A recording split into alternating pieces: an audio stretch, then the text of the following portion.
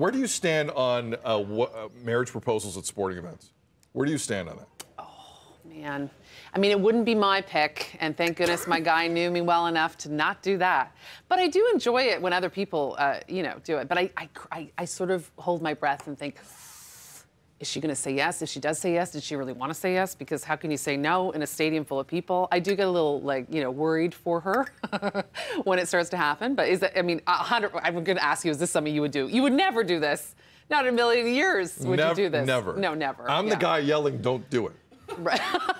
That's like in that. There's always like nine guys or people who yell, "Don't do it," and I think it's funny every time. But from a male perspective, what would make you do that? Well, looking at these prices, I, I can't answer that question because we're, we're bringing this up because there was a survey taken at sporting venues across North America. How Mm-hmm. much would it actually cost? We're talking about tickets, we're talking about proposal on the Jumbotron, all the stuff. How much would it cost for you to propose to your significant other at these venues? So Scotiabank Arena was 411 bucks. These are these are US rates. 411 US, oh, bucks. okay. Must be love. At Rogers Center, $447 to not only propose, but to not see the Jays score run.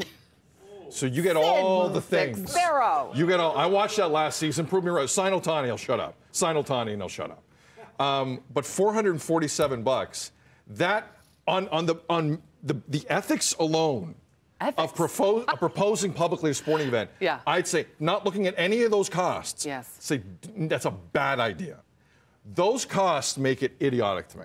You cannot spend money on an idea that bad.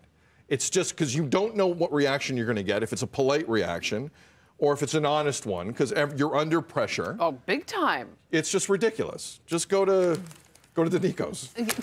Well, I mean, you're not to be whatever, but Yeah. you're going to spend a little Sure. more than that. Well, if you're to spend that- if you're to spend You know, yeah. It- try it- the tasting menu. Proposals get very, very expensive. So Yes. I, I don't know. I look at that. I mean, the U.S. dollars puts it into a bit of a different category, but look at that. It's a bit. I mean, it's a bit of a bargain, Right. Because you get a whole hotel night stay.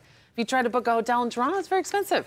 So I don't know. Maybe, maybe you don't even need to actually. Maybe you fake the proposal and just get the deal. I don't know. But yeah, thank goodness we're both already engaged. Sid. Right, right. We don't have to worry about this. But stuff. just to understand, it's if you're thinking about doing this, look, I know you're in love and it's a special time for you. You're making a huge mistake if you're doing it and the San Jose Sharks are in the building.